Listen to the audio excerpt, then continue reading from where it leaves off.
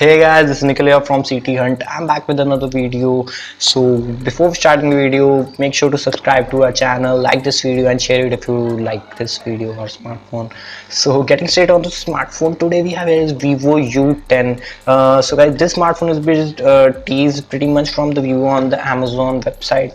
And uh, I was pretty excited for the smartphone for the pricing and right now it has just been launched. And for the price I should say this smartphone is amazing. So getting on to directly on the spec sheet and the smartphone uh, the design front in the back we have triple camera slot at the back. And uh, the design looks uh, very similar to what we have seen on Vivo's one Z1 X Pro uh, so that is also a good thing. That is not a bad thing either. Because we have the kind of a gradient bank in the blue uh, though the black color variant is like uh, just plain. But design still look uh, great for the price. Uh, we have fingerprint scanner on the back and in the front we have the dewdrop notch which uh, who calls this halo no halo full view display.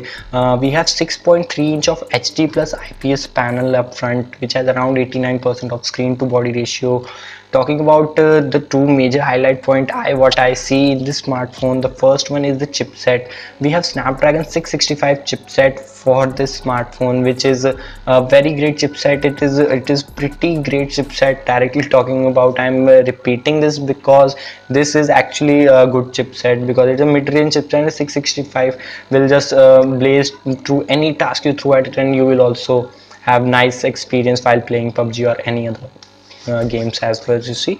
So uh, talking about other we have 4 gigs of ram and 64 gb of internal storage. Uh, though the only one thing i don't like about the vivo is their ui so uh, that is a separate concept but right now just talk about the smartphone.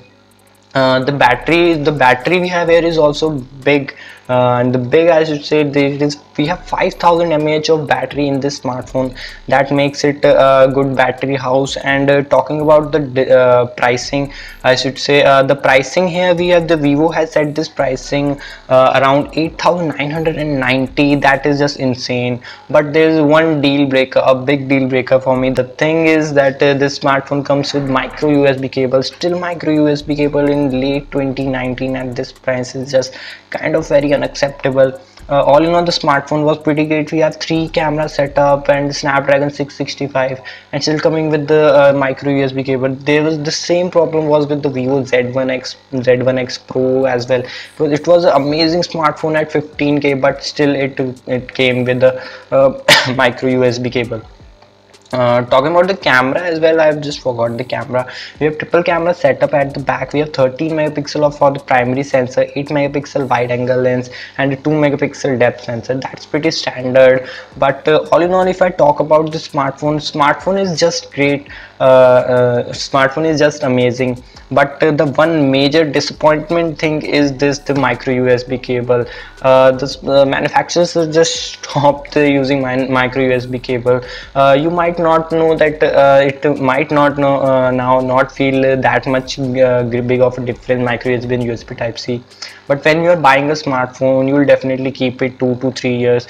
And believe me just after one year the micro USB will be a thing of past. And the better thing is the USB type C is better is a better technology. And uh, it is not a bad thing to have and it is uh, not very uh, like difficult thing for manufacturers to put it into the smartphone at this price because uh, as you have also see the Redmi 8A Pro launched uh, that also comes with USB type C. If you want to know about the smartphone make sure you hit the subscribe button. I've just made a video on that as well. You can check that video in the description as well and i'll share the link in the i button so you can check that. That is also a great smartphone around 6500 uh, which it comes with USB type C and other good specs as at that price so that was all about this smartphone guys. It comes with Snapdragon 665 triple camera slot fingerprint scanner to the back but uh, it has a micro USB cable.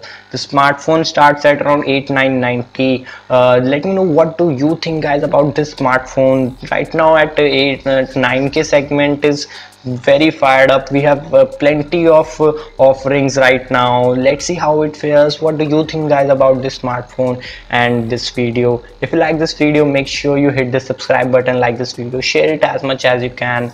I'm nikhil signing off. I'll meet you in the next one